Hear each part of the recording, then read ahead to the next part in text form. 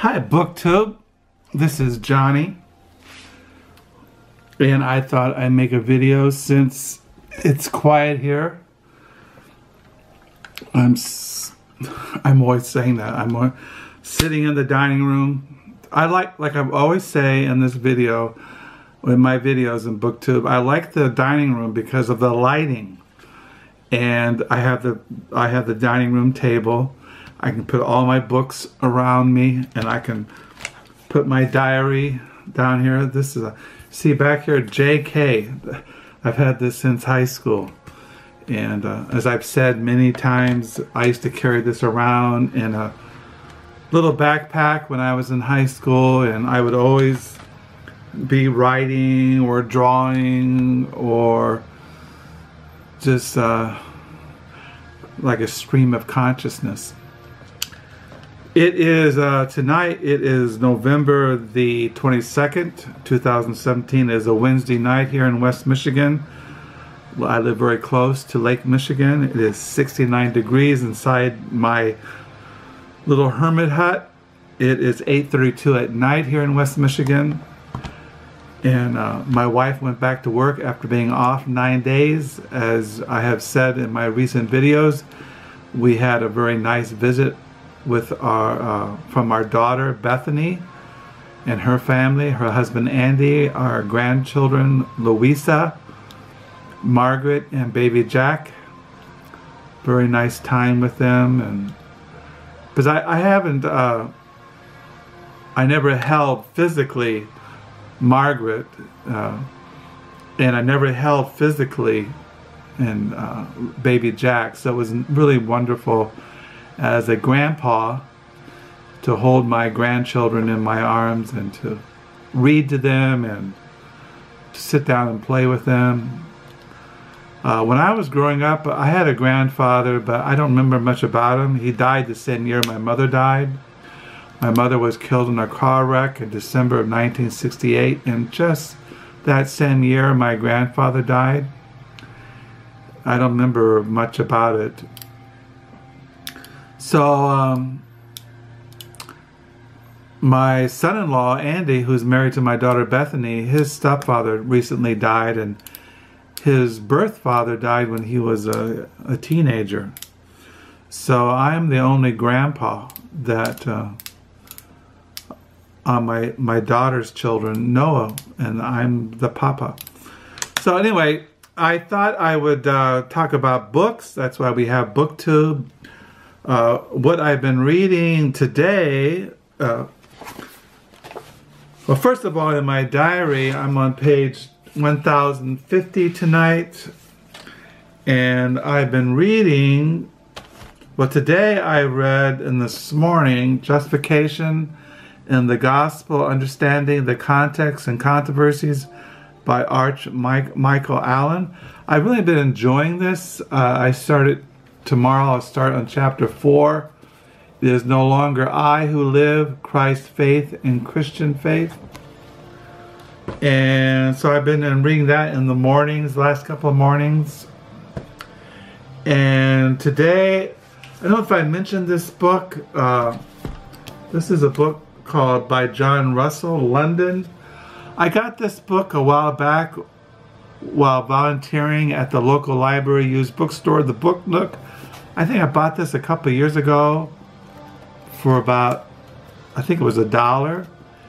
And I keep it on my, on the coffee table in the dining room by my reading chair.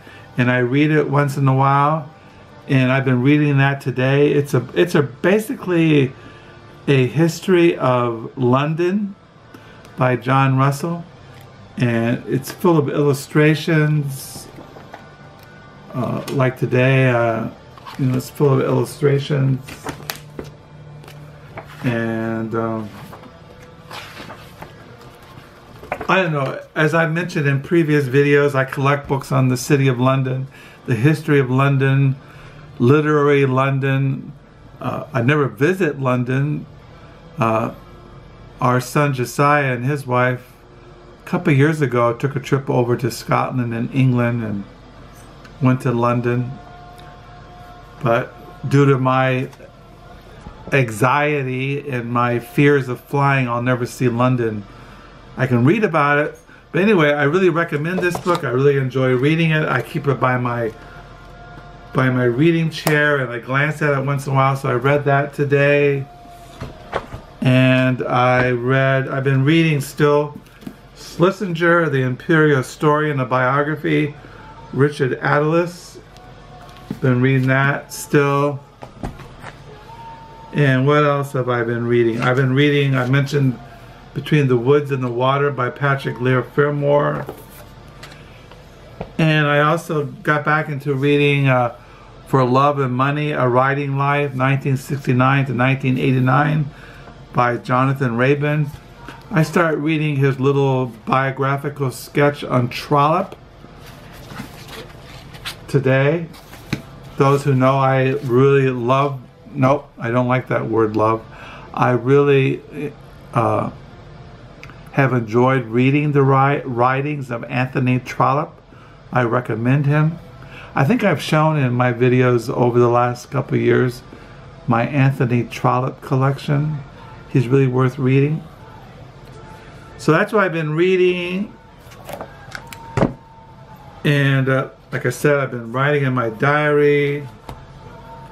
I thought in this uh, yesterday it was kind of dreary out, kind of cloudy and gray, but I hadn't been to local thrift stores in about over a week, and so I went out in my old Dodge van, which is rusted and falling apart, but keeps going. I visit local thrift stores. Just there's three local uh, three local thrift stores Bibles for Mexico, Action House, and Goodwill, just just around where we live. And uh, I made the rounds, and this is what I found. At Action House, the only thing I found was this interesting uh, edition of Ulysses, a novel by James Joyce. I like this because of the large print. My editions are usually they're hardback or they're paperback, but this is a really has an interesting format. And so uh, I put my bookmarker where I'm, I've tried to read Ulysses by James Joyce, I don't know how many times. So I put my bookmark, those who know I, I use index cards as bookmarks. I put it where I last read.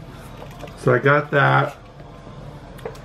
And then I went to Goodwill and it was interesting when I was at the Goodwill thrift store yesterday afternoon. I ran into somebody that I have talked to before uh, a couple months ago. He watches my videos. He lives here in Holland. His name is Ron. Uh, we had a good talk. We were he was looking at used books, and I said, "Oh yeah, I know who you are." And so Ron and I we talked for about a half hour. And uh, these are the books I found at the Goodwill. I found Behind the Beautiful Forevers, Life, Death, and Hope in Mumbai Undercity by Katherine Boo. This is uh, in 2012. 10 Best Books of New York Times Book Review, National Book Award winner. I've seen this at the library used bookstore, the Book Nook, and this is only 60 cents, and so I got myself a nice clean paperback edition. And then I found uh, this book here, Village of Secrets Defying the Nazis in Vichy, France by Catherine Moorehead. This is uh, takes place during the Second World War when uh, the Nazis occupied Paris under the Vichy uh, regime. This is a trilogy. This is the second one. This is by Catherine Moorehead. And what else did I find there? Oh, I found Ship of Fool, Ship of Gold in the Deep Blue Sea by Gary Keeler. This is a story of a shipwreck. I don't. It, it looked kind of interesting, so I I got it. Then I found this uh, Penguin edition of Joseph Conrad, The Heart of Darkness, a, novel by him. Uh, I collect the novels of Joseph Conrad, biographies, literary studies. I like the cover of this. This is a Penguin edition. And I found a book by the atheist Christopher Hitchens. Is not God is not great, how religion poisons everything. Now, I'm not an atheist. I, I love the Lord Jesus Christ. I believe in the Bible. But um, I'm not afraid of reading the writings of atheists or those who reject God. Doesn't I just read it because I like to read things that challenge my thinking. I'm not afraid of atheists or agnostics or Buddhists or Hindus or Muslims or pagans or whatever because uh, I've experienced the Bible. I just not, I not only know the Bible mentally, intellectually, going to seminary and Bible college and being a Christian since the summer of 1970, but I've experienced the Lord Jesus Christ. I've experienced the truths of the Bible. So it doesn't bother me. I also, after a goodwill, I went to Bibles from Mexico and found this biography on Queen Elizabeth I by Anne Somerset. And I found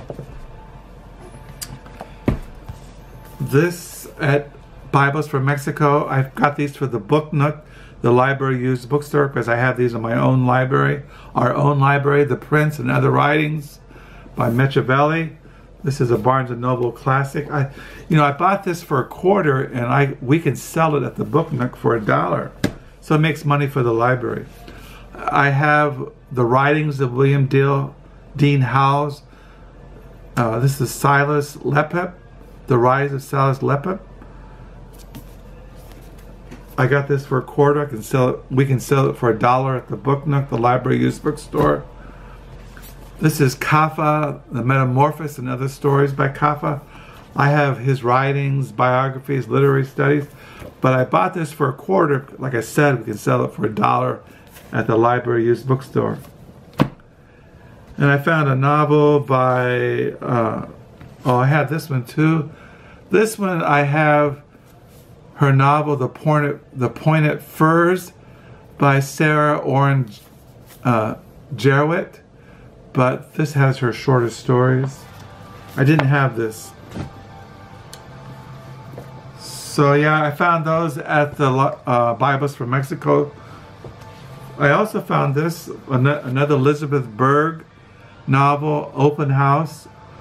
I, those who know I started collecting Elizabeth Berg. My wife just finished reading Year of Pleasures by Elizabeth Berg. My wife says it's a really good novel. So those, uh, I also found at Bibles from Mexico, The Red Earth and Pouring Rain, a novel by, uh, his name, he's a, a writer, Vikram Chandra. I have two copies. I like this edition I found of uh, Bibles from Mexico because the print is larger. My edition I had in my library is very small. I'll take this edition to the Book Nook Friday when I volunteer. Also at Bibles from Mexico, I found all these old Penguin classics. No, excuse me, the Penguin Shakespeare, printed by Penguin. These are old 1960 editions of the plays of William Shakespeare. You have Hamlet, Richard II by Shakespeare, Othello by Shakespeare, Measure for Measure. These are all from the 1960s Penguin books. King Lear, The Tempest by William Shakespeare, Richard III by William Shakespeare, Henry V by Shakespeare, The Pelican Shakespeare, Antony and Cleopatra by William Shakespeare, 1960s, The Merchant of Venice, The Winter's Tale by William Shakespeare, I got all of these for a dollar fifty. I like the little covers. One thing that kind of bothers me about them that obviously they were used in a class because they're underlined. But I couldn't pass them up for $1.50, all these little editions. I have one volume editions of the of the plays of Shakespeare, and I have other editions. But I don't know. Maybe I'll take them to the Book Nook. I also I found this book at the Goodwill, Writings on Art, by the very famous artist Mark Rothko. So I found these. So those are the books I found at thrift stores the other day when I was just wandering around. Uh, like I said, I've been enjoying reading The Justification of the Gospel by Michael R. Michael Allen. I really like uh, For Love and Money and Writing Life by Jonathan Raban. I've been enjoying reading Between the Woods and the Water. The full title is Between the Woods and the Water on Foot to Constantinople by uh, Patrick Leigh Fermor. This is a travel memoir, uh, memoir and uh, been reading about Schlesinger, who was a, historian. Uh, he was a confidant to John F. Kennedy during the Kennedy administration before John F. Kennedy was assassinated. He's written uh, The First Thousand Days by Schlesinger, which is a, a historical account of the the John F. Kennedy administration as president. And today I've been reading with pleasure John Russell's little biography on the on London, England. So yeah, that's what's going on in my book world.